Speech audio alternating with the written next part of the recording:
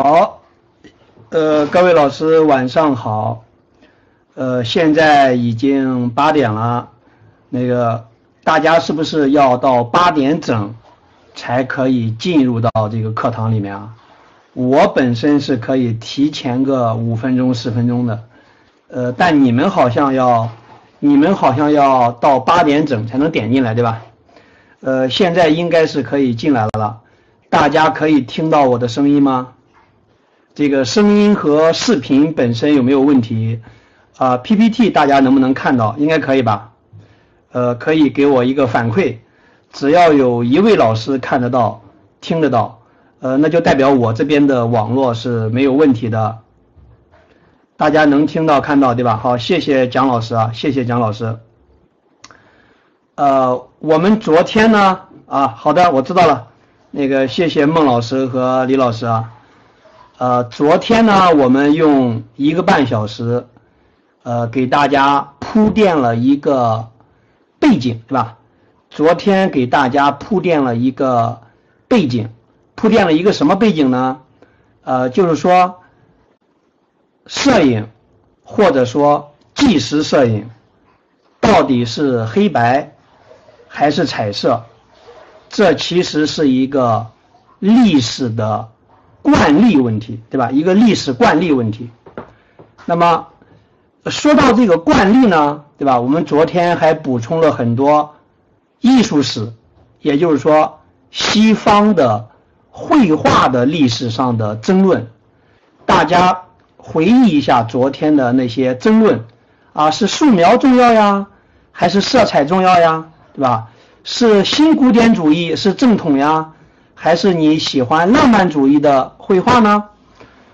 那么说到惯例这个问题，其实艺术的发展，它就是一个遵循惯例和打破惯例的过程。遵循惯例和打破惯例的过程，大家可以想一想这个问题，其实非常有意思。为什么非常意思呢？因为在二十世纪的艺术理论的定义里面，曾经就有一个美国的这个艺术理论家认为，什么是艺术呢？艺术就是惯例和习俗，艺术就是惯例和习俗。呃，你怎么理解这句话呢？为什么说艺术就是惯例和习俗呢？其实很简单，就是，比如说我宋大象，对吧？我决定改行去说相声，对吧？我改行去说相声。那么大家想一想，我如果改行去说相声的话，我大概也要穿一个长袍的马褂。站在舞台的中央，呃，两个人有一个捧哏的，有一个逗哏的，前面摆一张桌子，手里拿一个扇子，对吧？呃，一唱一和，然后你在下面，你就能够判断出我是在说相声，对不对？你为什么能够判断出我是在说相声呢？因为我的衣着打扮和这个节目的形式。它就非常符合大家对于相声的传统的惯例性的认识。如果我这个人特别特别创新，呃，有没有老师还记得当年赵丽蓉和巩汉林，呃，当年的小品，对吧？呃，打工奇遇，对吧？打工奇遇。那么这个赵丽蓉到一个饭店里面去应聘服务员，对吧？学习饭店的管理知识。呃，但是这个巩汉林总经理呢，想让慈想让这个赵丽蓉扮演慈扮演扮演这个慈禧太后，对吧？呃，而且要让赵丽蓉呃改变一种说评戏的形式，但是由于那个改变的太厉害了，对吧？改变的太厉害了，赵丽蓉最后说：“你这并不是对传统的评剧。”啊，进行创新，你这就是活活的糟蹋这个平戏，对吧？大家发现了没？我们我们判断一个东西，呃，是不是一个东西？比如说它是不是相声？它是不是评戏？它是不是摄影？它是不是绘画？我们判断一个东西，我们总要一一总要根据一些惯例来来断定它是不是，对吧？如果没有这些惯例的话，我们就判断不了。但是如果你拘泥于惯例，永远都遵循一个惯例，从来不做出任何的创新，那么你的艺术也就没有办法突破。呃，这个道理也适用于摄影。我们昨天对吧？大家都知道，摄影在一八三九年发明，而彩色摄影的，就是柯达的彩色胶卷。柯达克罗姆胶卷是一九三五年发明的，那么一八三九年到一九三五年，这几乎过去了一百年。从摄影的诞生，一百年之后，才有了比较便捷的彩色摄影的技术，这就形成了一个强大的这个黑白摄影的传统。以至于那些摄影大师们也会认为，摄影的正统、摄影的这个正道啊，就是黑白，对吧？大家要理解这一点，因为它有一个沉重的历史包袱。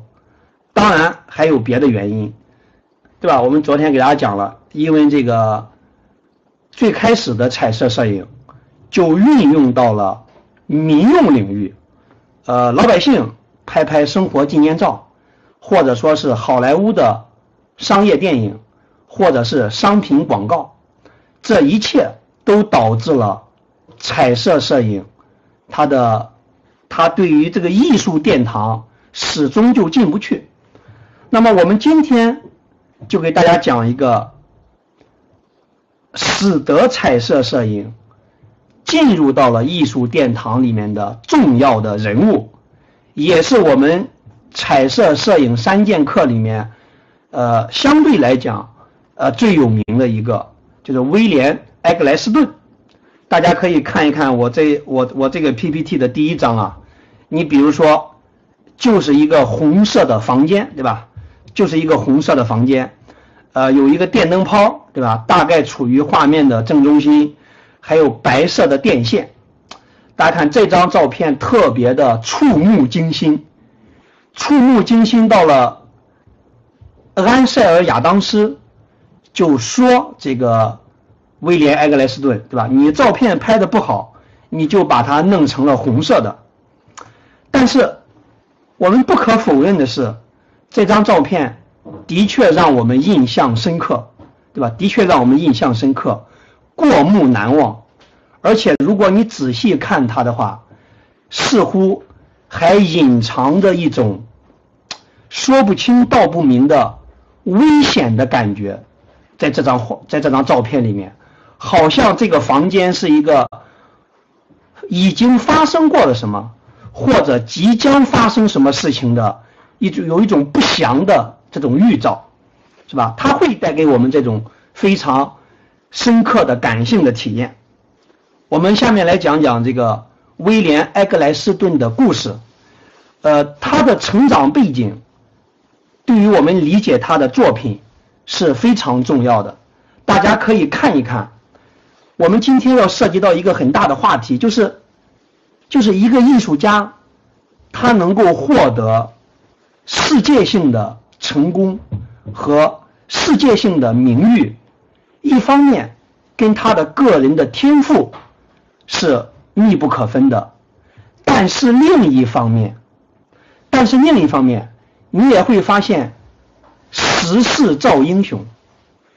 呃，一个人的成功跟他的个人的天赋和努力，以及外在的天时地利人和，其实往往是纠缠在一起的。这这这两个方面，内在和外在的因缘。都非常的重要，我们大家会慢慢的感悟到这一点啊，感悟到这一点。我们来看一看它啊，首先大家要知道，这个威廉·埃格莱斯顿今年哦，二零二零年已经八十一岁了，现在还活着呢。今年已经八十一岁了。他一九三九年出生在美国的田纳西州的孟菲斯。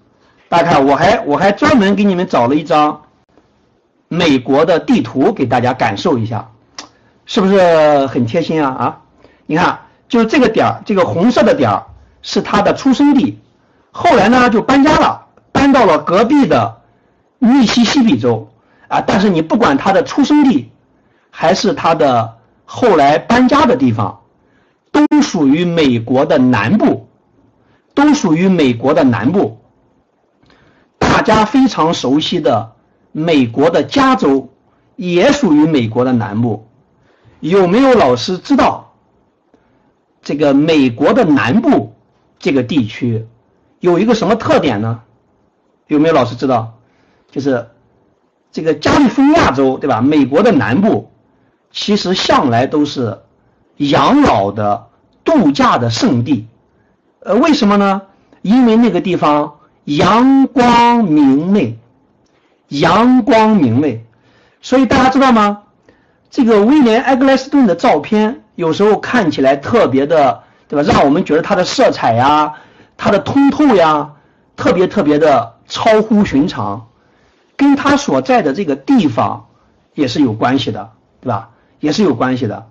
那么，如果你在石家庄，或者你在重庆，或者你在成都，那可能累死你，你也没有办法拍出这种感觉的照片来。而他就是他本身就出生在、成长在这个阳光明媚的美国的南部啊，出生在孟菲斯，然后后来去了这个密西西比州，反正都是一个阳光明媚的地方。威廉·埃格莱斯顿出生于一九三九年，你怎么记住他呢？那就是二战爆发的时候。一九三九年，世界呃第二次世界大战爆发的时候，那么大家看一看，这就是他现在啊，这他现在啊，呃，我我专门给大家找来看的，这就是目前的埃格莱斯顿，大家可以看到，明显的已经苍老了。埃格莱斯顿的兴趣非常的广泛。他对什么感兴趣呢？大家看一看，他现在年事已高，呃，很少拍照片了。他今天就是目前啊，人老了嘛，八十岁了，大量的时间花在了音乐和钢琴上面。他非常喜欢弹钢琴和音乐，他还非常喜欢无线电。来看，这就是埃格莱斯顿的家，他在研究这些。这个电子音乐的设备啊，我也不太懂，但是你能看出来吗？这是示波器或者什么东西？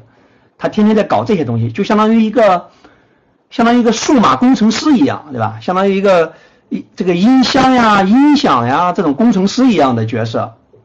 然后呢，他还弹钢琴，他还弹钢琴，对吧？他三九年出生，现在依然健在，八十一岁了，爱好广泛。弹弹钢琴，呃，研究研究无线电，啊，这个呢是给大家的一个介绍，然后我们接着来讲他的生平故事。埃格莱斯顿十八岁的时候获得了人生中的第一台照相机，那么当然最开始他也是拍黑白照片的，他在二十三岁的时候。也就是一九六二年，他一九三九年出生，一九六二年他二十三岁，二十三岁的时候，相当于我们中国的大学生毕业的时候，呃，你比如说说我，我大学毕业的时候也就二十二岁、二十三岁吧，呃，大概相当于我们今天，大概相当于我们今天大学毕业的时候呢，他看到了。法国著名摄影家这个布列松的这本画册就是《决定性的瞬间》嘛，《决定性瞬间》。呃非常非常的喜欢，他的作品曾经呃深受布列松的影响。呃，布列松我们不需要再展开讲了，呃，我相信各位老师都非常熟悉他，对吧？你在中国玩摄影，呃，没有人不知道布列松，对吧？没有人不知道布列松。呃，布列松的照片里面最有名的就是右边这一张，对吧？就是右边这一张。那么，他威廉·埃格莱斯顿在非常年轻的时候，呃，类似于我们今天大学毕业的时候，呃，看到了布列松的这本画册。深受影响，呃，这一句英语是他自己说的，是埃格莱斯顿自己说的，大家可以看一看，年轻时候的，年轻时候的威廉埃格莱斯顿是多么的崇拜布列松。这句英文翻译翻译成中文是什么意思？翻译成中文的意思是，我不能够想象，呃，我不能够想象。世界上还有什么事情能呃比成为布列松第二要更好啊？什么意思呢？意思就是说，哎呀，我特别崇拜布列松，哪怕我模仿他，你们说我模仿布列松，对吧？我是布列松第二，对吧？布列松第一，我是布列松第二，我也觉得这个事情是世界上最好的事情，是世界上最好的事情。我相信各位老师。在学习摄影的过程当中，呃，大家可能都曾经有过这个阶段，对吧？我当年也有这个阶段。我当年在大学二年级的时候，我也想成为布列松第二，对吧？我觉得我要能把照片拍的像布列松一样，那我简直就很牛了，对吧？后来我又想成为 PS 大师。呃，反正也没成为，也没成为 PS 大师，我还研究一段时间的 PS，崇，然后又崇拜亚当斯，对吧？大家都，大家都是这个，都是这个过程走过来的，对吧？呃，但是很可惜，虽然年轻时候的埃格莱斯顿梦想成为布列松第二，但是当他后来见到布列松的时候，布列松却对他说：“彩色摄影。”就是狗屎，就是没有夸张啊，就就是这么说的，就是狗屎。呃，大家想想，如果你特别崇拜一个大师，呃，然后呢，然后呢，大师你又选择了彩色摄影，然后你所崇拜的大师对你说这个彩色摄影就是狗屎，呃，按照一般人的这个习惯，按照一般人的心理，那可能就会被打击的很厉害，对吧？但是。埃格莱斯顿这个人非常有意思，呃，他并不会受这些负面的评价的影响，呃，据说布列松这么说了之后，他什么也没说就走开了，对吧？就走开了，对吧？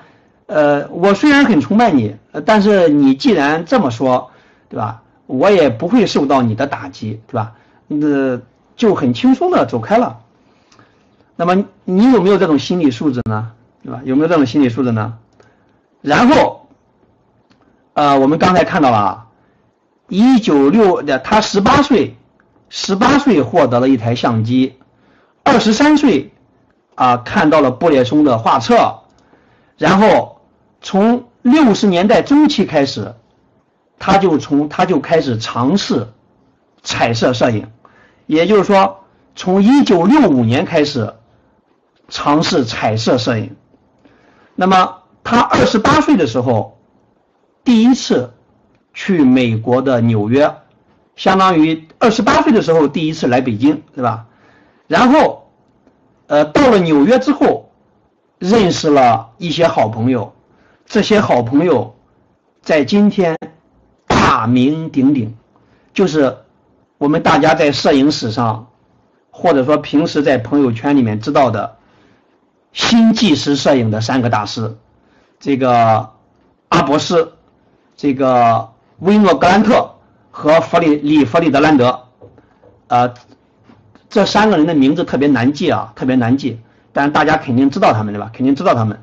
新纪实摄影的展览的三个参展人，呃，这三个人代表了。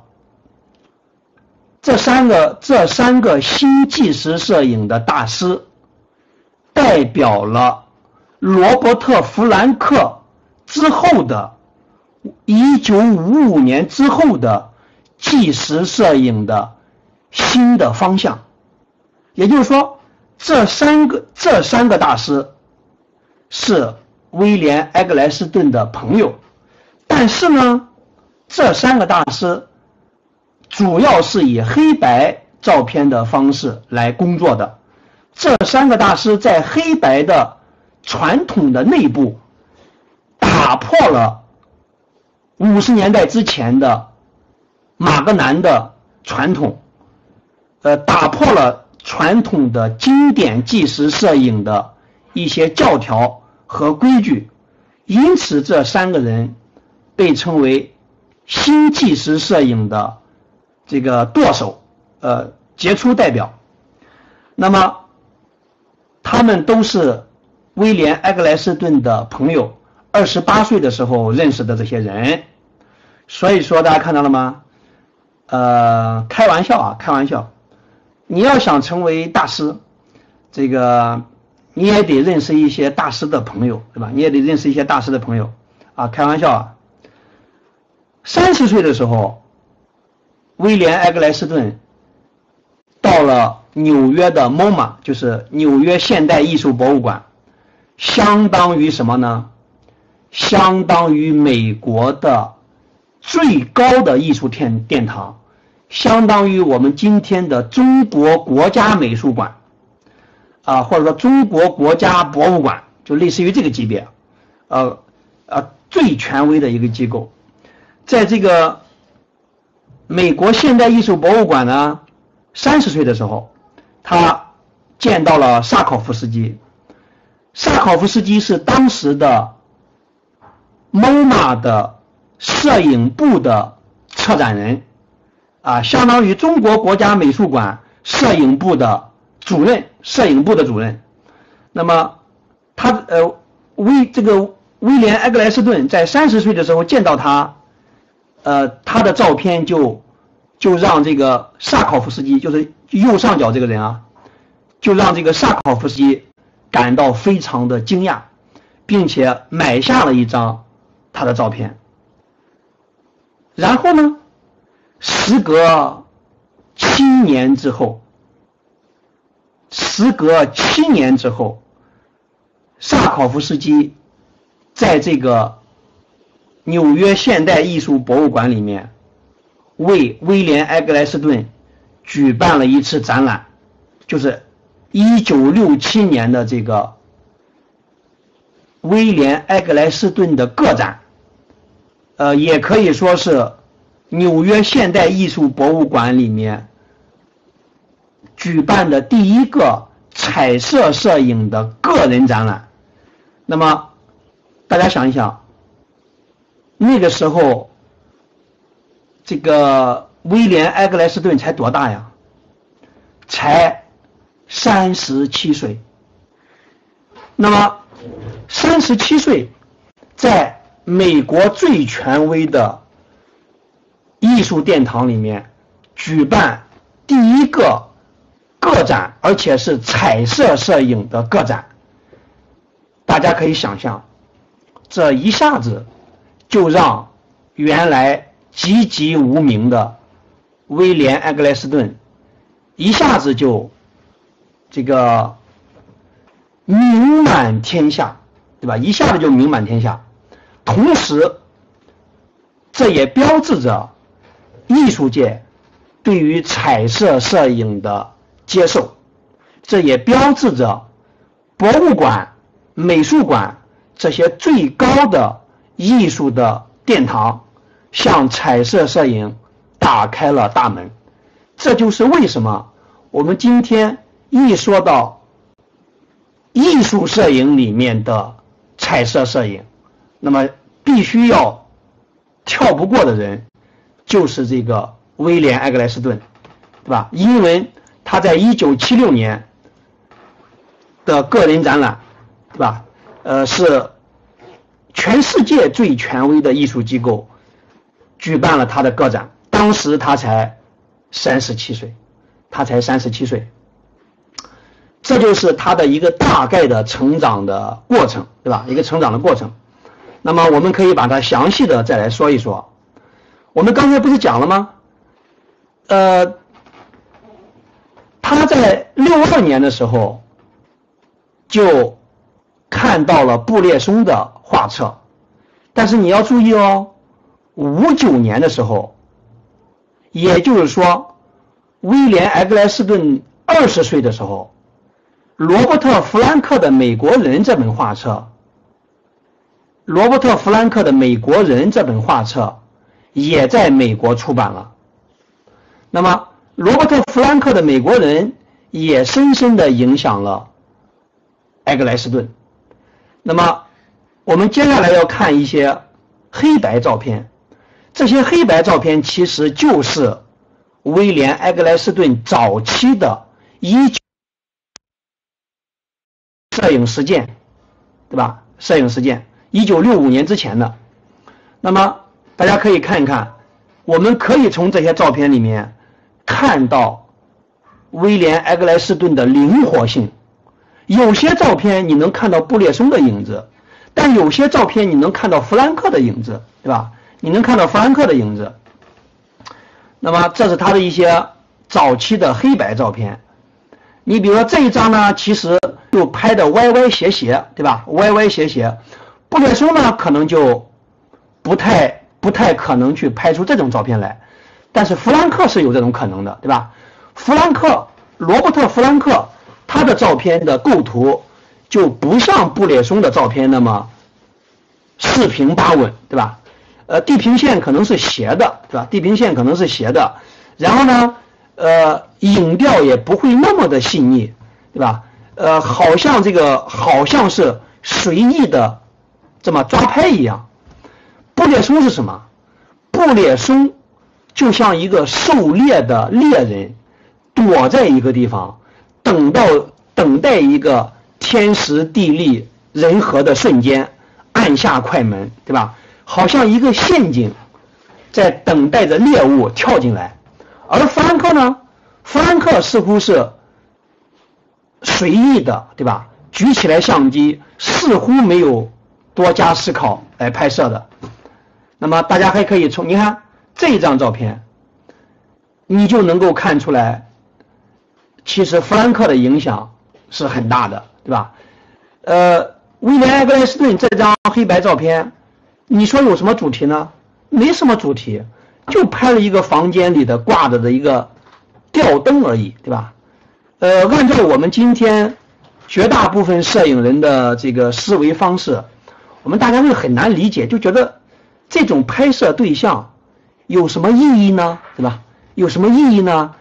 呃，这就是一个平常的房间里的灯而已，对吧？你为什么要浪费一张胶卷去拍它呢？它有什么深刻的意义吗？表达了什么主题吗？对吧？其实大家知道吗？呃，在我们中国，我们大家从小到大受到的教育啊。非常难以摆脱这种思维方式，就是你一定要问一个画面背后的深刻意义，对吧？大家都很都很喜欢这种情不自禁这种思维方式。其实你可以不用去想它那么多的意义，你可以就去认真的感受这张照片带给你来带给你的这种情绪，你可能会感到，对吧？你看这个总体的色调是非常的暗的，对不对？让你感到孤零零的，对吧？让你感到孤零零的，那么反正在这个情绪上不是那么欢快，对吧？也非常的沉闷，对吧？好像一个人百无聊赖的在盯着房间里的这盏吊灯而已，它带给了你一种情绪的氛围，这就是意义，对吧？这就是意义，呃，不需要那么多的啊，多么多么深刻的社会呀、人生呀、哲学呀那些意义。但是我们大家就特别习惯那种思维方式，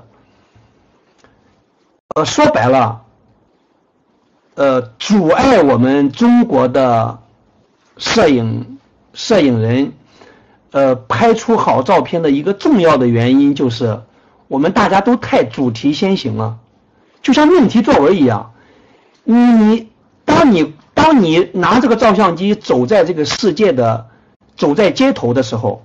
走在田野的时候，身处于生活当中的时候，你就老想去找一个啊这种什么深层次的意义，然后你你把所有的注意力都放在了这个寻找意义上，你的眼睛并没有被自由的调动起来，你没有去你没有去非常认真的观察一个画面的构成，一种色彩。或者一个生活当中平凡的物件，它到底有有散发出怎样的细微的魅力来？细微的魅力来。那么，威廉·埃格莱斯顿恰恰可以纠正我们的这种感受。接下来你会看到埃格莱斯顿的照片，按照我们今天大多数中国影友的标准，它它的主题都不明确。都没有什么深刻的意义，但是你连贯起来看的话，你会发现他的照片是很有意思的，他会带给你一种非常不一样的感受。我们接着往下看啊，这就是他的一些黑早期的黑白照片，大家可以看到，呃，明显的有这个弗兰克的影子，尤其是这一张，对吧？大家会看这个罗伯特·弗兰克的《美国人》里面有一些照片，带给我们的感受，或者说他取景的角度、框取的方式，也跟这个是类似的，也是类似的，呃，让人觉得有点压抑，对吧？有点压抑，然后呢，有点沉闷，又非常的疏离啊，非常的冷冰冰。呃，这都是威廉·埃格莱斯顿的早期的照片。呃，前面这几张呢？前面这几张有弗兰克的影子，但是你看这一张呢，呃，就稍微严谨一点，对吧？呃，整个画面里面有很多的正方形、矩形边框，形成了一个严格的内在的结构啊。这可能还是跟他的布列松的那种观察方式是有关的，但是也相当于这两者的夹杂吧，布列松和弗兰克的夹杂。对吧？这个也比较像这个弗兰克，而布列松是不可能会拍这种照片的啊。这一张也是这样，对吧？大家看，这有什么意义呢？对吧？按照按照我们的思维方式，这有什么意义呢？呃，我们中国的摄影师的思维方式是什么啊？我要到火车站，对吧？去拍一个去拍一个落魄的乞丐，旁边走过一个呃珠光宝气的。珠光宝气的一个女人或者男人，对吧？啊，我要通过这种对比来彰显出这个年轻和衰老啊，贫困与富裕啊，为富不仁和呃这个朱门朱门酒肉臭和路有冻死骨啊，我一定要在照片里面反映这个东西。大家想想我说的有没有道理啊？我们我们就就是主题先行，我要去找这样一个对比，对吧？啊，前面一个。前面一个要饭的啊，后面一个珠光宝气的女人，大家都老去喜欢去这么拍东西。你看，如果在你眼里面这些这些这些这些对象，可能就毫无意义，对吧？包括这个房间，那简直就像呃北京的出租屋一样，对吧？一个次卧一或者一个主卧的出租屋一样，你觉得这有什么意义呢？对吧？为什么要拍这个东西呢？是不是？你看这一张照片就形式非常的严谨啊，这个呢就不列松一些这给大家看一下他早期的早期的这个黑白照片啊，早期的黑白照片。然后说回来，到了一九七六年，美国现代艺术博物馆为威廉·埃格莱斯顿三十七岁的他。举办了一个展览，这个展览的名字叫做《威廉·埃格莱斯顿的指引》。大家看这个名字本身就非常的霸气，对吧？呃，相当于对吧？威廉·埃格莱斯顿的指引。那么 这就是二十世纪最重要的摄影展之一，相当于是一个分水岭，摄影史上的分水岭。它代表着、象征着、意味着彩色摄影。已经得到了最高的权威的艺术机构的认可了。那么，当然顺理成章的就是这个展览也一下子就奠定了威廉·埃格莱斯顿的彩色摄影大师的地位。本来呢没有什么名气，呃，这样的一个展览就让他名满天下，进入到摄影史当中。呃，但是你可能会觉得这是不是有点狗屎运啊，对吧？呃，不就是给他办了个展览吗？但是你也不能这么说，因为威廉·埃格莱斯顿的彩色照片的确有他的非凡的过人之处。我们来看一看。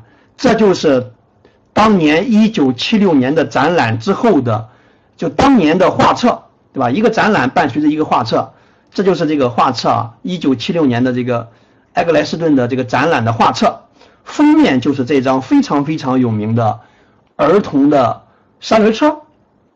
那么我们来看一看啊，大家知道这个一九七六年的这个展览是萨考夫斯基。举为埃格莱斯顿举办的，那么萨考夫斯基是如何谈论、如何认识埃格莱斯顿的彩色摄影实践的呢？对吧？我们昨天给大家补充了，其实彩色摄影从一九零七年就有奥托克罗姆了，一九三五年就有柯达克罗姆了。昨天我们还讲了两个先驱呢，对吧？我们昨天讲了恩斯特哈斯，对吧？恩斯特哈斯，那么也就是说，威廉·埃格莱斯顿他并不是世界上第一个搞彩色摄影的，他不仅不是第一个，也不是第二个，第三个、第四个他都算不上，可能第十个他都算不上。既然你不是第一个，凭什么为你举办展览呢？我们大家来仔细的揣摩一下。这个地方要仔细哦，我们来仔细的揣摩一下，萨考夫斯基是如何评论、如何认为埃格莱斯顿的彩色照片跟别人的彩色照片哪里不一样，到底哪里创新了，哪里值得肯定？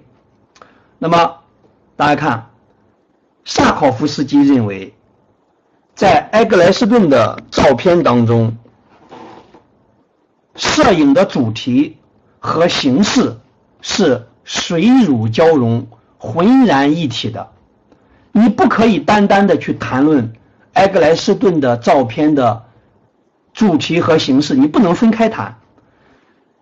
埃格莱斯顿的照片的意义是什么呢？意义就是，意义就是那张照片带给你的感受本身。你没有办法把这种感受用一个单词精确的转换出来，对吧？大家想想，我们我们就不太习惯这种这种这种理解方法。我们大家平时去参加一个摄影展，或者说给一个摄影之友投投一个投一个照片大家都喜欢去起名字，你知道吗？啊，呃，对吧？这个。母亲呀，母爱呀，对吧？这个初生牛犊不怕虎呀，什么丰收的喜悦呀，对不对？就是我们大家都要用一个单词 或者用一句话来概括你的作品的意义。但是埃格莱斯顿的照片，它的意义就是你看上去的那个样子，它的意义就是当你认真的、仔细的感受他的照片的时候。你感受到的那个难以言表的那种感受本身，那个感受本身就是它的意义。你没有办法用一个单词去概括它，对吧？你没有办法用一个单词去概概括它。我们待会儿会看很多作品啊，我们待会儿会看很多作品，大家来慢慢的体会一下这是什么意思，对吧？埃格莱斯顿的照片内容和形式是浑然一体的，你没有办法把他的照片的意义提炼成一个单词。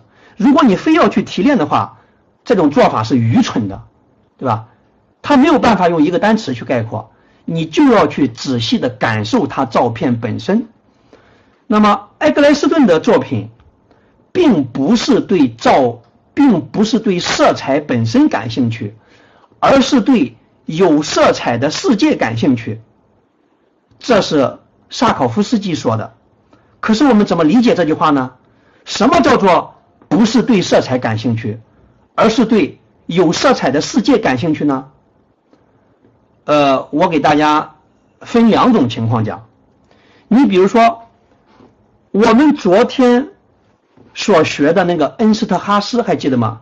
我说他的作品受到了美国的抽象表现主义绘画的影响，也就是说。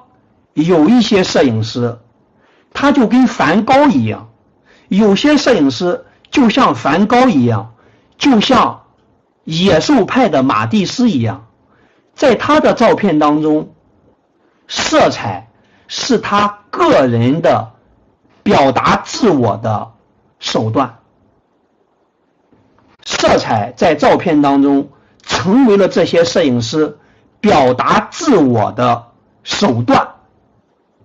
这是一种情况，但是你要注意哦，萨考夫斯基认为这种做法非常常见，但是并不高明，并不高明。为什么不高明呢？英文，英文，如果你把色彩当做表达自我，你表达你自我的情绪，表达你自我的感受。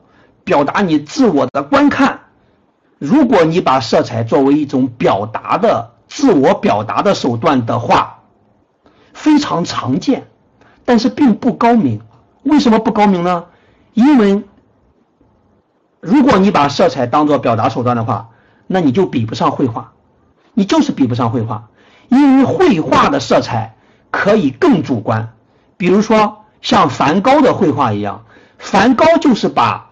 颜色当成表达自我的手段，他完全不管这个世界看上去什么样子，对吧？梵高就要把就要把这个天空描绘成那种蓝色，就要把这个稻田描绘成一种革黄色，对吧？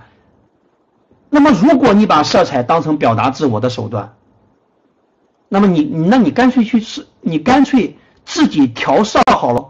你你干脆自己去绘画好了，对吧？那么照相机它毕竟要受制于现实世界，对吧？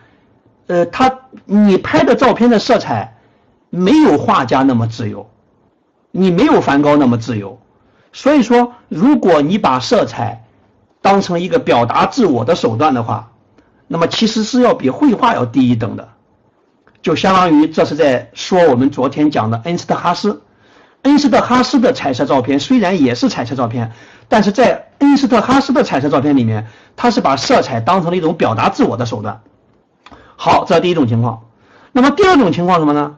第二种情况是另外一种思维方式，就是比如说我们大家去拍一些西藏的照片，啊呃去拍这个蓝天白云哈，像像国家地理那样，像国家地理那样。在这一帮彩色摄影师眼里，他他知道这个世界是彩色的，就像你一样，你也知道这个世界是彩色的。但是问题在于，但是问题在于，在你的概念里面，这个世界是彩色的，但是你并没有非常认真的去观察每一个物体的具体的色彩。在你的脑海里，啊，天空就是蓝的，啊，苹果就是红的，啊，叶子就是绿的，啊，对吧？你的你虽然知道世界是彩色的，你也采用彩色胶卷去拍这个世界，但是你的那个彩色的概念是一个普通概念，是一个背景知识妇孺皆知的普通概念，你并没有认真的去。感受，你并没有去认真的感受一个东西，它在某一种光线条件下、天气条件下的具体的色彩。呃，那么萨考夫斯基认为这两种认知彩色摄影的方法都都不怎么样，但是他非常欣赏埃格莱斯顿。为什么欣赏埃格莱斯顿呢？因为埃格莱斯顿既表现了，大家要要要注意这句话啊，就是埃格莱斯顿的彩色照片，既让我们既让我们看到了彩色世界本身，但是每一张照片的具体的东西的色彩又是非常个体化的，又是非常个体化的，对吧？又是非常个体化的。呃呃，怎么理解呢？我给大家再再找一种比较合适的思维方式吧。啊啊，这么说啊，这么说，比如说我是一个班主任，我是一个班主任，我知道我们班里面有四十个同学，对吧？我知道这一点，但是我同时还能做到真正的关心每一个同学，我还能做到真正的关心了解每一个同学的具体状况。你明白吗？就是你你们都知道这个世界是彩色的，但是你并你并没有去非常认真的感受具体的那个东西的彩色，就好比苹果一样，对吧？有有有有烟台的红富士，有新疆的什么阿克苏的糖心苹果，对吧？世界上的苹果多了，在你的在你的脑海当中和感受当中，苹果的颜色虽然你知道是红色的。但是你并没有去非常仔细的观察具体的一个又一个的苹果，对吧？那么这是埃格莱斯顿厉害的地方。我们来看一些作品啊，我们来看一些作品。比如说，埃格莱斯顿是一九六五年开始尝试彩色摄影的，大家看，出手就不凡，对吧？出手就不凡。那么大家你可以想象一下你自己啊，这不就是一个超市的理货员吗？对吧？大家逛超市会看到很多的这个超市里的工作人员把这些手推车，对吧，叠到一起。但是你想一想，如果你走过这个街头，你在这个街头徘徊，那么你会不会对这种，对吧？此时此刻，就像印象派的画家一样，对此时此刻的这个整理推车的工作人员，对吧？一束。阳光打在他的脸上，跟他金色的头发、棱角分明的年轻的面庞，以及这个自行车，以及这个不是自行车，以及这个手推车的这种墨绿色的车杆，形成了一种非常微妙的呼应。没有什么意义，但是这种色彩、这种暖调，他的年轻的气质，他的金发。对吧？跟这些闪闪发光的这些手手推车的这些这些小金属杆儿对吧？有一种闪耀的温暖的这种感受力在这个地方，大家看到了吗？呃，这个需要你有非常细腻的这种这种，你要认真的看你去去感受这个画面本身带给你的这种视觉的愉悦。这就是埃格莱斯顿要捕捉的东西，对吧？他他不是要通过这张照片去反映什么啊底层人民呀、什么阶阶层差距啊之类的，不是这样的。他就是这张照片此时此刻，对吧？这种微妙的颜色的感受，大家看这个也是对吧？这也是一九六五年的哟，他刚刚接触彩色摄影，对吧？大家可以看到，呃。一个西装革履的男人，对吧？正在那个地方吃汉堡，你会发现，对吧？白色的瓷砖，红色的瓷砖，然后这个男人的耳朵可能因为冻了，或者说因为太热了，呃，不知道怎么样，他的耳朵跟这个跟这个汉堡包里面夹的这个夹心儿，跟这个瓷砖的红色是相互呼应的，对吧？相互呼应的，那么。埃格莱斯顿就觉得，哎，这这个也很有意思，对吧？他就拍下了它。那么大家再看这一张，不就是一个啊汽车旅馆或者说普通的小旅馆的床头吗？对吧？普通的小旅馆的床头吗？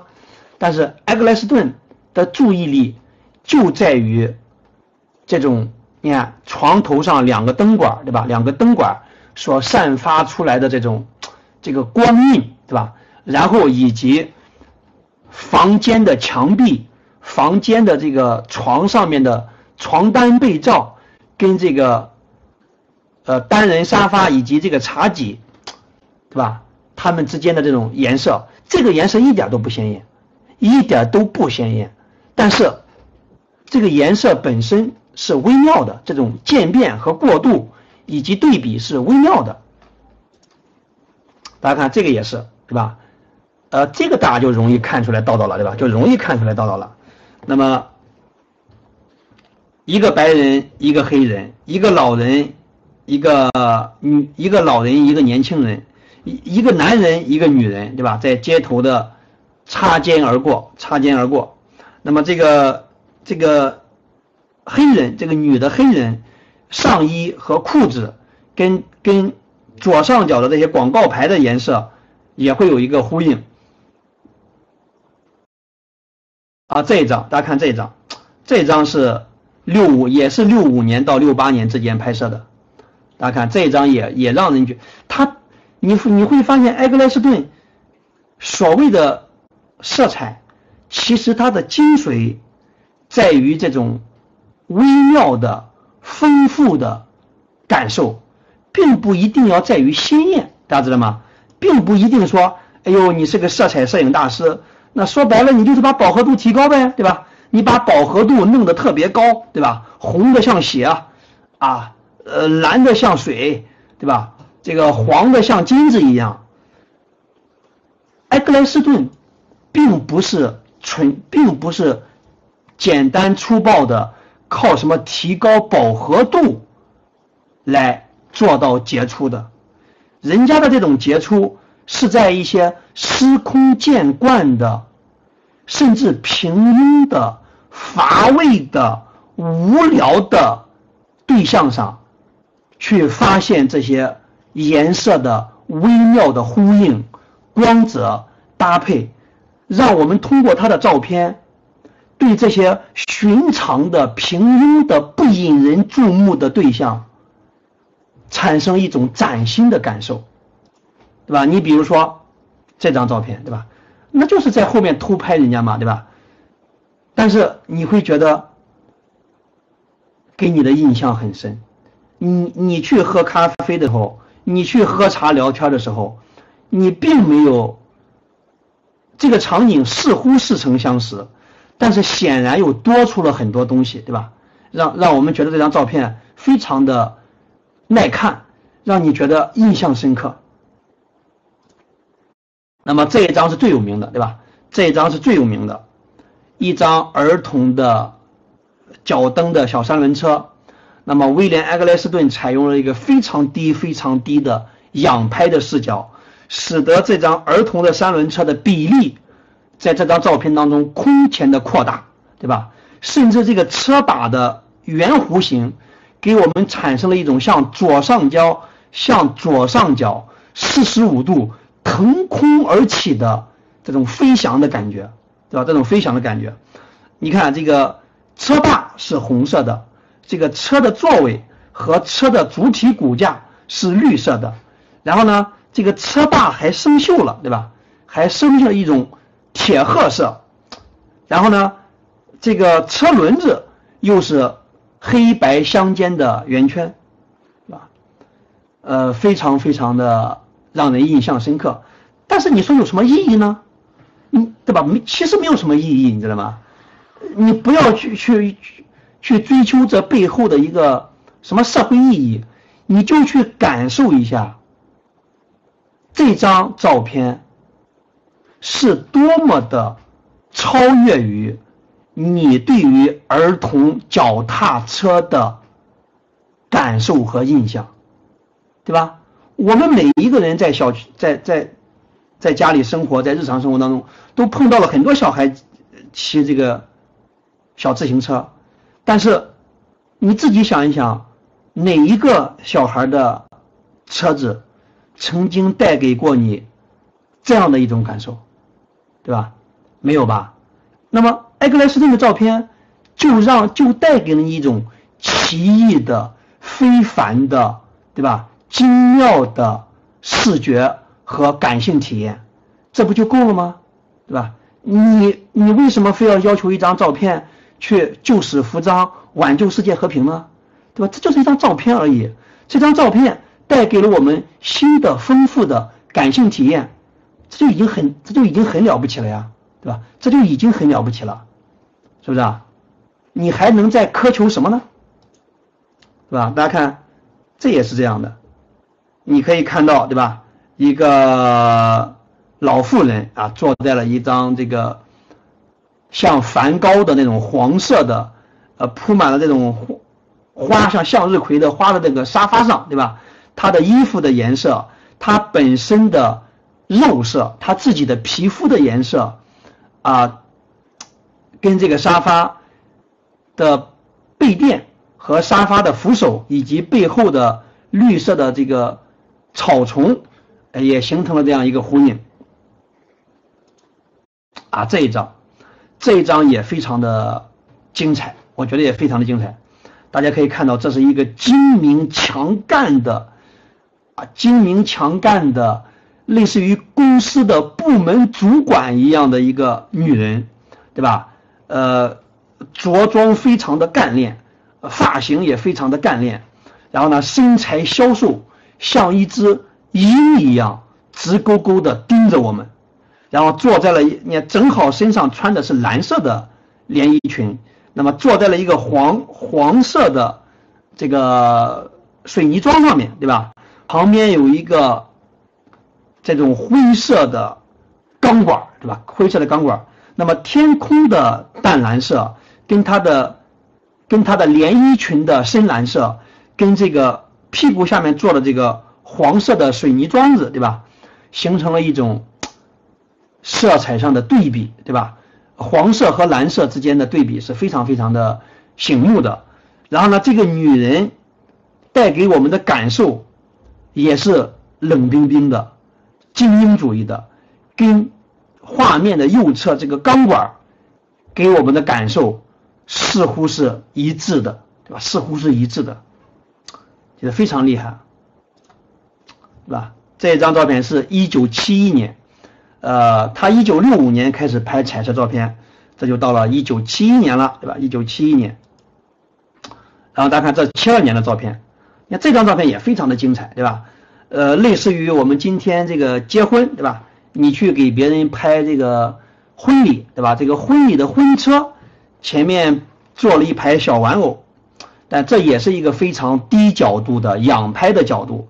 而且呢，是一个近景，对吧？是一个近景放大的这样的一个视角，那么是不是也给了我们一种非常奇异的感官体验和视觉的愉悦？蓝色的天空，青色的引擎盖，对吧？呃，一排这个粉红色的玩偶，啊，这个红色的房间，对吧？是也是最有名的一张。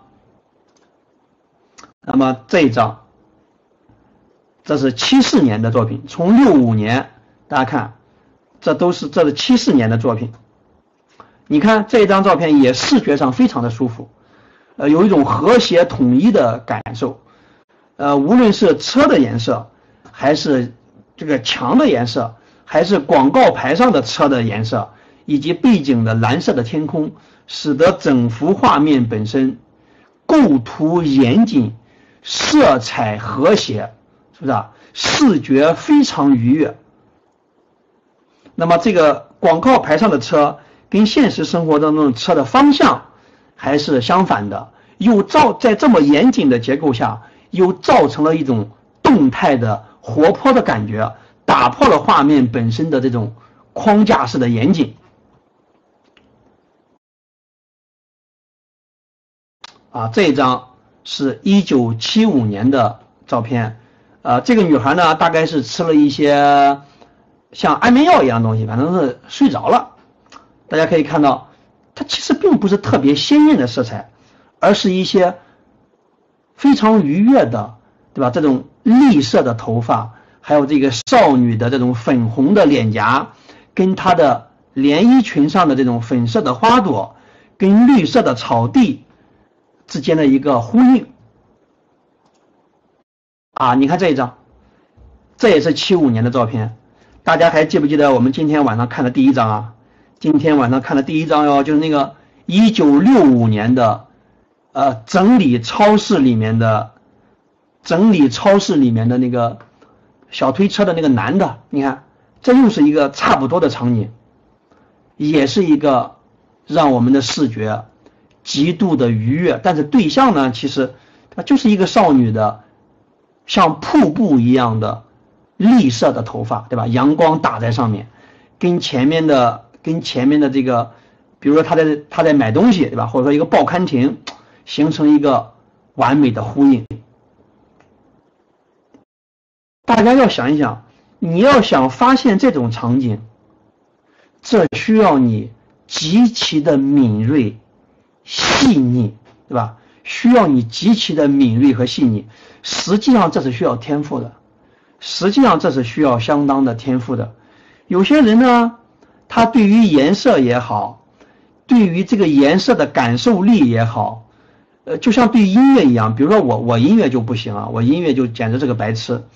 那么你的感受力感受不到，那你可能就觉得你也不知道哪里好，对吧？你也不知道哪里好。但是大家起码可以多看一看，你连贯性的看下来，你就会知道这个摄影师的非凡的地方在哪里。你看这一张。不仅整个画面本身非常的愉悦，它的结构也很严谨。呃，布列松对它的影响，对吧？那也是扎实的很，也是扎实的很，对吧？呃，有无数的电线所和电线杆形成的框架，然后呢，又有这种对角线式的啊，像悬挂起来的哆来咪发嗦的音符一样，使得画面本身又具有了一定的调皮的。有节奏的欢快的情绪掺杂在里面，而车的颜色跟地面的颜色又是大面积的黄色的暖的暖色，对吧？而天空又是一种淡蓝色，对不对？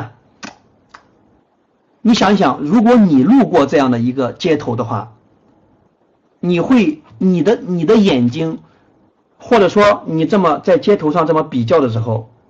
你你会去捕捉这个场景吗？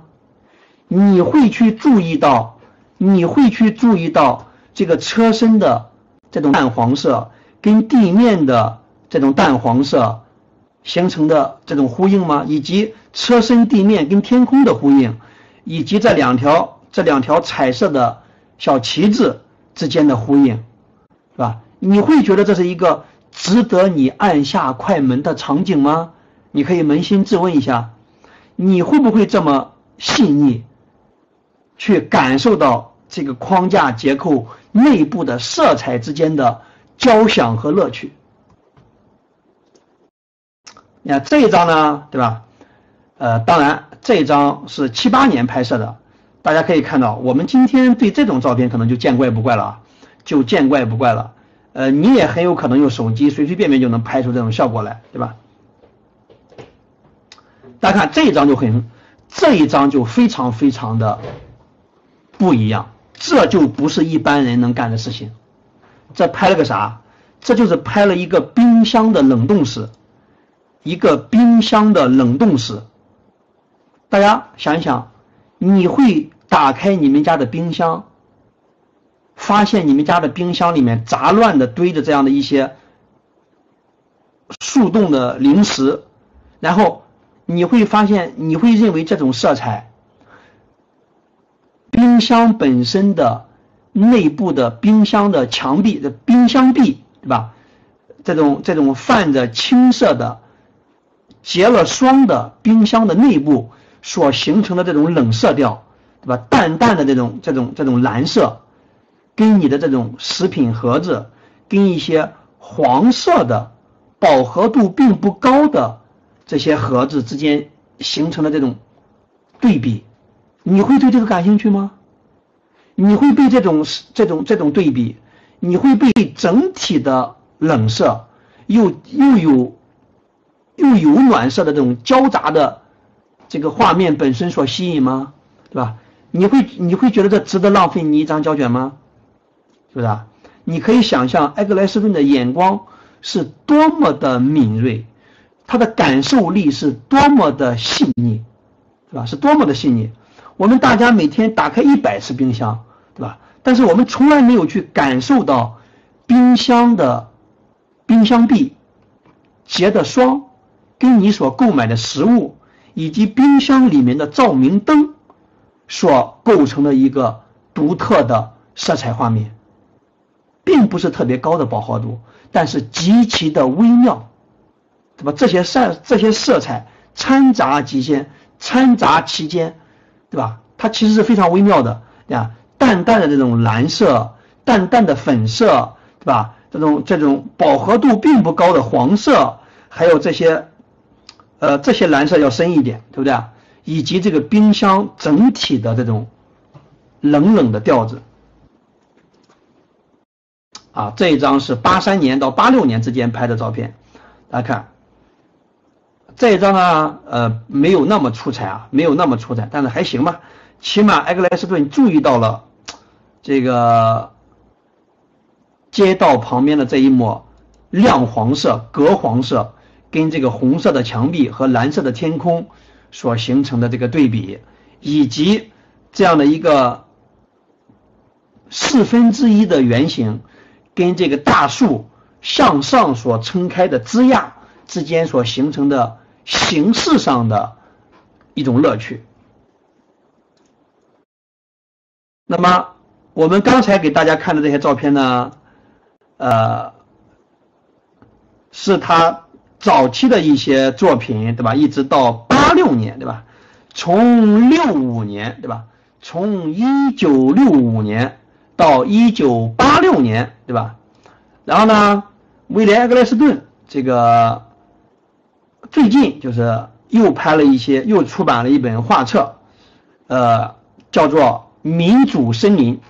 民主的森林，大家看到这个名字呢，可能又觉得，哎呀，呃，好像又是个社会问题，对吧？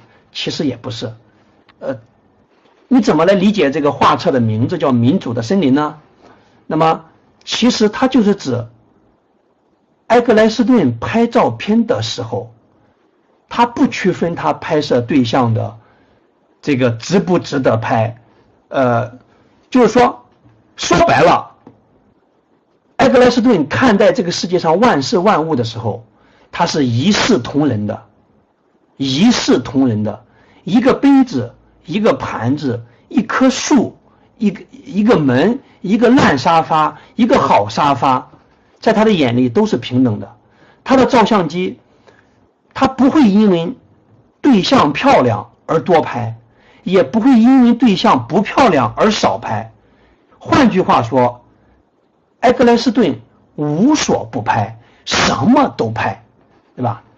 他跟这个对象，他不会像我们这样去拍一些非常奇特的、猎奇的，好像别人都想不到的，或者是大家公认的。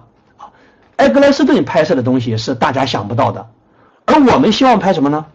我们大家平常的习惯是拍摄那些大家公认的这个拍摄对象。什么日出日落呀，对吧？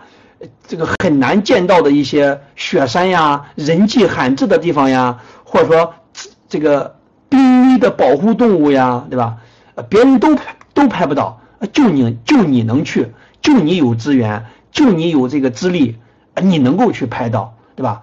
呃，我们一般的思维方式就是，呃，别人想拍，对吧？但是拍不了。但我就能拍，对吧？我要去拍这种东西，然后呢，让自己啊出类拔萃，让自己鹤立鸡群。但是埃格莱斯顿不这样，埃格莱斯顿是无所不拍，对吧？大家刚才已经看了他拍的很多照片，没有什么重要的主题，没有什么重要的主题。那么一切平庸之极的、乏味的，甚至在我们看来毫无意义的对象，都在埃格莱斯顿的照片当中。焕发出了非凡的色彩魅力，对吧？那埃格莱斯顿的照片，它是充满色彩的，但是他的照片又让我们感受到了这种绚烂的色彩背后的一种空虚乏味。不是说不是说他这个人空虚乏味啊，而是说他反映的这种这些对象、这些人的生存环境，甚至说他暗示出来的这这些他拍照片的地方的这种人的这种生活本身的空虚和寂寞。虽然照片本身是彩色的，是非凡的，啊，换句话说，你可以这么理解。埃克莱斯顿拥有一种点石成金的本领。什么叫做点石成金呢？就是他拍的一些对象极其的无聊，极其的日常，极其的平庸。但是经过他的照片的转换，他的拍摄对象会让我们感受到他的非凡，超越了我们日常生活当中对一个东西的视觉印象和感官印象。比如说一个发卡。一个杯子，一个盘子，一双鞋，对吧？我们日常生活当中从来没有去注意它们，在我们的印象中，它也没有什么非凡的。但是，一旦这些东西被埃格莱斯顿拍到了，它就会散发出一个超越我们日常印象的这种这种感官感受来。大家可以看，你看，你说这个多日常，对吧？这不就是你们家的？洗手盆吗？这不就是你们家的厨房吗？对吧？但是你看埃格莱斯顿的这个照片当中，你就会发现，哇，这个洗菜盆儿对吧？这个洗菜盆儿跟旁边的这些熟透了的和半熟了的西红柿啊，所形成的这种色彩上的愉悦的对比。那么这种西红柿的红色啊，跟这个洗菜盆的颜色，跟这个。这个这个操作台本身的这种米色，对吧？这种米色这样的色彩的和谐的关系，以及这个圆的盘子，对吧？圆的杯子跟这个跟这个这个这个西红柿本身的圆所形成的形状上的呼应和色彩之间的搭配，形状上的呼应和色彩之间的巧妙的搭配。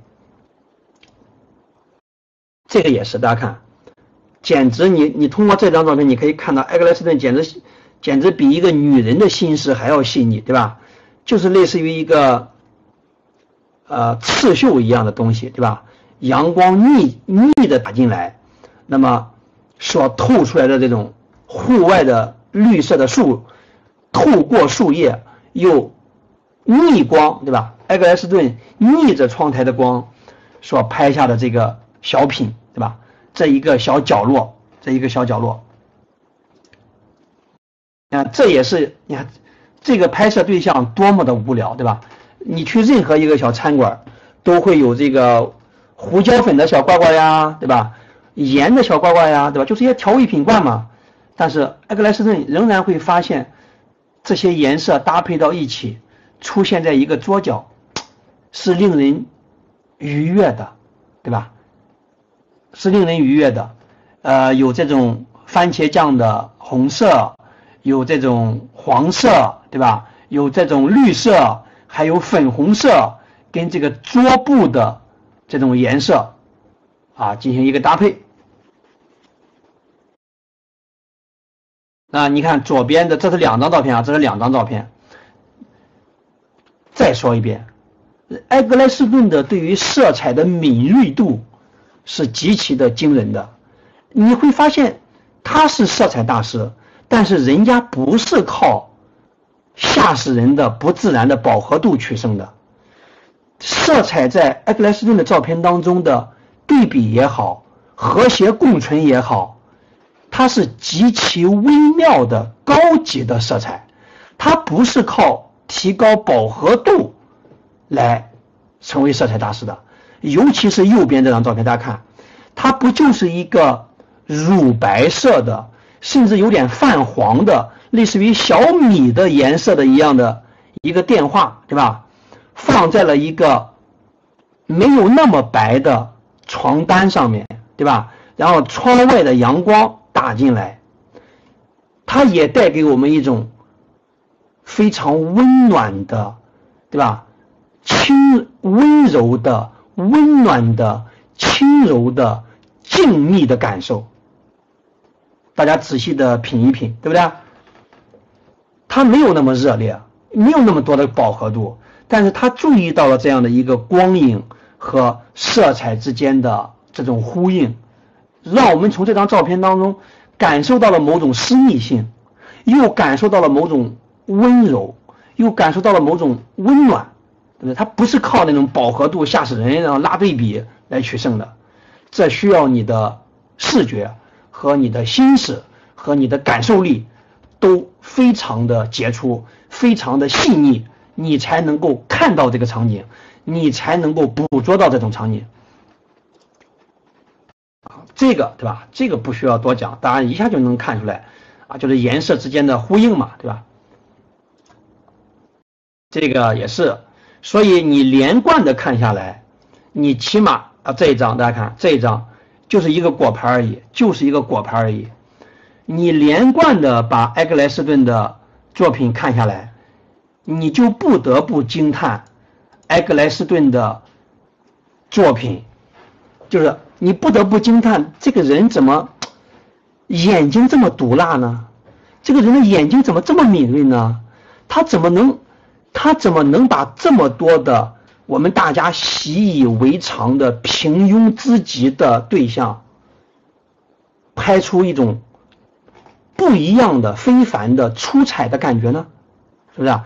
你会感受到他的天赋的，你会感受到他的敏锐的。啊，这不就是一张桌子嘛，是不是啊？和他的草地和水泥地以及远方的这个苗圃。你看这一张，啊，这一张就特别的守株待兔，对吧？像布列松一样，大家可以看到麦当劳的。格黄色的这种标志啊，跟这种暗 红色以及汽两个汽车的车身之间的这个呼应。那么非常非常亮眼的是，这个地方走过了一个男人，对吧？这个男人走到了一个黄金分割点的位置，而且这个男人身上的上半身的 T 恤，恰恰对吧？跟整个画面的色彩是一个点睛之笔。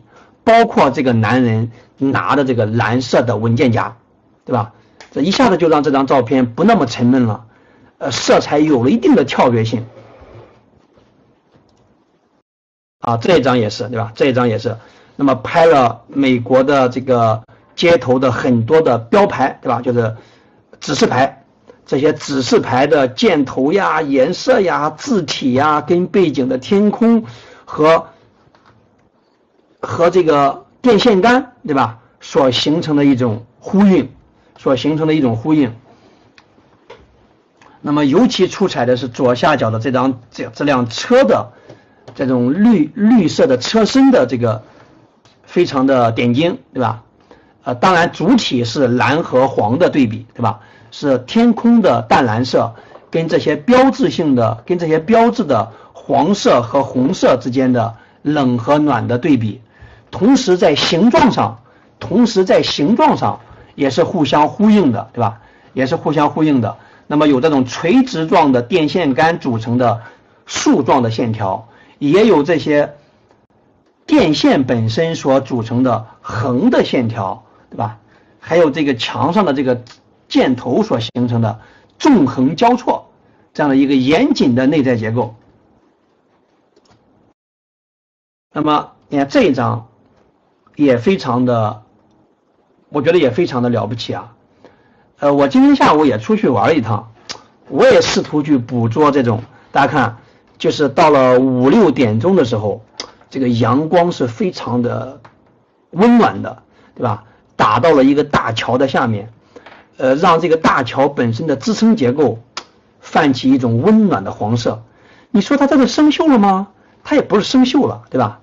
但是你猛一看就好像是生锈了一样，但它其实不是生锈了，就是就是阳光的品质在这个时间点里面，此时此刻给它打下的这种微妙的色彩，然后又跟这个天空的蓝色形成一种冷暖的对比，而这个大桥本身的支撑结构是纵横交错的，对吧？是纵横交错的，呃，给我们一种极强的平面的抽象感，对吧？平面的就像一幅抽象画一样，就像一个抽象画一样，但它其实是一张照片，对吧？它其实是一张照片，它不是一幅画，它是真实存在的，但是在视觉效果上它是抽象的，是不是啊？形状的呼应、颜色的呼应、大面积色块的呼应，对吧？它都照顾到了、捕捉到了，还有光影的这种亮的部分和暗的部分的这种对比。啊，这个也是对吧？类似于远方的天空阴掉了，对吧？它这个道路本身的这个水泥的这种白色，因为太干了，对吧？也许是，那么跟两旁的这种绿色植被，跟远方的乌云密布的青色的天空的这样的一种呼应。啊，这个也是这样，对吧？粉红色。跟这个黄色的车体、黄色的这个围墙、淡蓝色的天空之间的这样的一个色彩的和谐共处，啊，这是一个屋顶，对吧？这是一个屋顶，啊，大面积的蓝色跟这个暖色的屋顶，啊，一个可口可乐的白红底白字的可口可乐的这个商标，那么这几根天线也。使得上半部分的构图不再那么的空旷，是吧？不再那么增加了几分的动感。那么这个屋顶上面也散落了一些红色的落落叶，对吧？让这个画面呢打破了它的沉闷和严谨。啊，这一张也非常出彩，大家看，非常非常出彩。呃，你想一想，难道在你的日常生活当中，你没有遇到过这种场景吗？其实你是遇到过的，但是呢，你可能没有非常用心的去感受、去凝视、去框取这样的一个场景，但是实际上拍出来是非常非常非常惊人的，对吧？令人印象深刻。啊，这一张，这一张也非常的精彩。呃，一首先这个照片的内在的结构形式是极其严谨的。呃，而且甚至有一定的超现，有一定的超现实的荒谬感。呃，很多的元素之间是互相呼应的，对吧？首先，这是一个横着拍的照片，但是画面当中又有这种垂直的电线杆，然后呢，这些标牌以及标牌的颜色之间是互相呼应的，对吧？是互相呼应的。你看这个车，一一辆汽车的外壳。莫名其妙的出现了，出现在一个绿色的房子的上面，然后呢，背景是蓝色的天空，汽车往左上角飞去，而中间的这个标志的这个男人的视线却跟这个汽车的朝向是相互呼应的，是相反的，而这个画面当中的这个这个矩形的广告牌跟画面的下方的这个。红色的红底儿白字的广告牌又是相互呼应的，那么这个汽车又跟左又跟左上角的这个椭圆又是相互呼应的，这个汽车本身的生锈的颜色跟这个左上角的白底的 E S S O 的这个颜色又是呼应的，对吧？呃，在在这个在这个地面的绿色。跟天空的蓝色的交界处，一个黑人穿着一个黄色的黄色的背心儿，坐在了一个白色的车上，哇，非这个，你仔细看看这个照片的内在的结构，就这些元素之间的，无论是形状的呼应、运动方向的呼应和颜色的呼应，是极其复杂的，对吧？极其复杂的这张照片。貌似随手一拍，但实际上是长期训练的一个结果。它它的内在的视觉的结构性和这个框取的这个度，对吧？是一看就是行家一出手，行家一出手，你就能够感受到它的这种严谨性。这张照片里面所包含的这种形状、颜色、方向、呃结构之间的呼应，我觉得并不比布列松的那一张最有名的那张照片要更少，对吧？其实也非常非常的复杂，虽然看起来是随手一拍的，啊，这也是他的这个作品啊，你看是不是啊？颜色非常的舒服，大面积的粉色。你看这一张，这一张啊，这一张，我觉得这一张也非常的惊人，对吧？呃，那那这一张肯定是随手拍的了，对吧？随手拍的了，呃，顶多是跟在这两个女人的后面，顶多是跟拍了一阵子，对吧？跟拍了一阵子，但是你会可以看到这张照片是多么的能够调动我们的视觉的愉悦和这种带给我们丰富的感性颜色的体验，极其的细腻，对吧？呃，首先是一个顺光的位置，但是光线并不那么强烈。你看这个两两个女的黑人，对吧？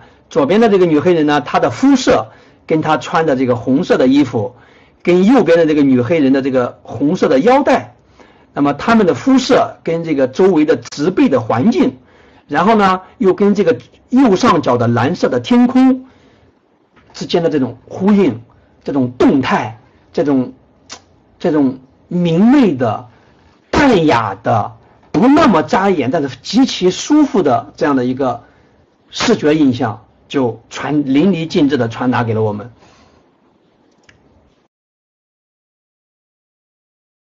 啊，这是他早期的彩色照片，然后给大家看看他最近的吧，给你们看两张，这是一九九零年的照片。大家仔细看啊，你猛一看，以为我给你放了一张白 PPT 呢？不是的，他拍了一个白色天花板上面的白色的电风扇。你仔细看，白色的天花板上的白色电风扇，对吧？也不是那种死白的死白，是那种乳白色，对吧？乳白色，其实也非常有意思，对吧？也非常有意思。你看这一张，这一张是二零一七年的照片哟，二零一七年的照片。啊，你看，一瓶饮料或者一瓶什么酒，咱也不懂，对吧？放在了一个墨绿色的汽车的引擎盖上，然后呢，这个引擎盖闪闪发光，还倒映着这瓶酒。那么，在一个黄昏时分或者日出时分，啊，不知道啊。那么，给我们这样的一种颜色上的和谐与印象，呃，包括。这个车灯对吧？这个正刮网正刮网亮的这个就非常闪亮的这个原色的车灯啊，也是一个点睛的地方，让这个画面当中的形状啊非常的愉悦，投射在我们的视网膜上。好，我们通过对埃格莱斯顿的早期的、中期的，对吧？早期的黑白照、早期的彩色照。以及一直到他八十年代的，一直到二零一七年的照片的梳理，对吧？那么一九七六年他的展览是埃格莱斯顿的指引，我们得出了一个什么印象呢？我们得出了一个什么启发呢？就是埃格莱斯顿，对吧？我们看到了他的照片，他是一个表面上看充满了绅士风度，对吧？充满了绅士风度的。呃，似乎很安静内敛的、温文尔雅的一个人，但是他趣味多元，对吧？他对无线电、对钢琴、对音乐啊都非常的喜欢，而且最重要的是，他始终对新鲜的事物保持着一种开放而又轻松的态度。呃，他所崇拜的大师，呃，都批评了彩色摄影，但是他也不在乎，别人都说他的作品很无聊，他也不在乎。对吧？呃，他不在乎，他搭着这种心态，一般人是很难有的。无论是你崇拜的大师，还是七十年代的艺术批评，都把他的作品啊招致了激烈的批评和指责。但是埃格莱斯顿并不受这些东西的影响。那么他一九七六年的 MoMA 的展览，搞得这个纽约的主流的杂志也在一片骂声。搞得萨考夫斯基本身也也产生了自我怀疑，但是埃格莱斯顿的一副轻松的无所谓的态度，一直在在拍着他的东西。那么，埃格莱斯顿的彩色实践既立足于具体的彩色世界本身，又具备他精确的个人的观察和对色彩的敏锐感受。埃格莱斯顿拥有一种非凡的天赋，使得一切平庸的寻常的物体超越了我们大家对这些不值得拍、不值得看、不值得花费精力的对象，打破了我们对这些东西的惯性、惯性的认识、惯性的印象和惯性的感受。通过看埃格莱斯顿的照片，对吧？它可以大大的拓展。我们这些普通人对于这个世界、对于眼睛、对于色彩、对于寻常之物、对于寻常场景的感受模式和敏锐度，它既会增加我们对这个五彩斑斓世界的感受模式，也会增进我们对这个世界的颜色的形状的这种敏锐度，对吧？它可以教导我们这些。那么同时，埃格莱斯顿的照片，对吧？也往往有一种波普艺术，六十年代的波普艺术的这种轻快随意、漫不经心的这种情绪氛围，对吧？好像看起来是愉悦的、轻松的、不喧嚣的，对吧？呃，这埃格莱斯顿所开辟的这种彩色摄影的语言和模式，为今天的当代艺术，为今天的当代摄影。开辟了新的方向和新的可能，这就是他带给我们的启示。我也通过今，我也希望通过今天晚上的一个半小时的讲解，呃，能够让大家感受到埃格莱斯顿的色彩的魅力。呃，后面呢，呃，我们可以再多说一点点，就是大家想象一下，就是埃格莱斯顿做的事情啊。其实就当就等于是不能说等于吧，就很类似于当年的 F 六四小组的爱德华维斯顿的贡献。大家看这个作品，大家都已经非常熟悉了，对吧？爱德华维斯顿的这个鹦鹉螺和青椒，以及爱德华维斯顿所拍的大白菜，对吧？白菜帮子，大家看一看，爱德华威斯顿是 F 六十四小组里面的。艺术造诣非常高的一个，尤其在形式上非常非常高的一个摄影师。他他其实，在摄影史上一个重大的贡献就是，他使得这些辣椒呀、这些鹦鹉螺呀、什么白菜帮子呀，威斯顿就等于是在三十年代的时候，用大画幅的黑白摄影，扩展了我们大家对于这些青椒。鹦鹉螺、白菜帮子的日常感受，在我们的日常感受当中、日常印象当中，青椒从来没有这么美，鹦鹉螺也从来没有这么独特，白菜帮子更是不值得一看。但是，艾特拉维斯顿的作品，把他们把这些微小的辣椒、不起眼的鹦鹉螺和非和这个不漂亮的白菜帮子。